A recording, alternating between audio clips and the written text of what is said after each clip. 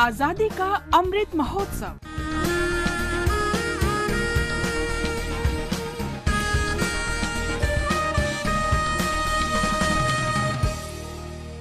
Azadi Ka Safar with AIR News. On the 9th of January 1915, Mahatma Gandhi returned to India after his successful satyagraha in South Africa. Upon his return, he was honored by the people of Bombay at a magnificent reception in the palatial house of a Bombay businessman, Jehangir Petit.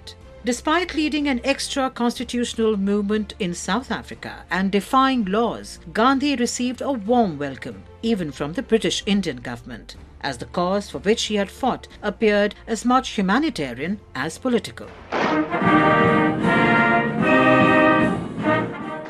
Mr. Gandhi, have you refused to wear European clothes? No, I haven't refused. I simply wanted to dress the way my comrades in prison dress. Mr. Gandhi, Now that you're back in India, what are you going to do? I don't know. The British Indian government joined hands with the people of India in showering honours on Gandhi, and he was accorded with Kaiser-i-Hind Gold Medal in the King's Birthday Honours List of 1915. Gandhi took his time to plunge into Indian independence movement.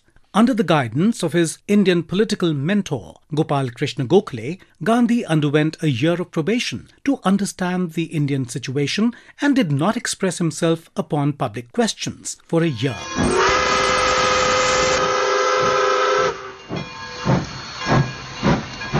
During the year of probation, Gandhi confined himself to the reform of the individual and the society. His restraint was partly due to self imposed silence and partly to the fact that he was still studying conditions in India. After the year was over, Gandhi devoted himself to the cause of Indian independence completely.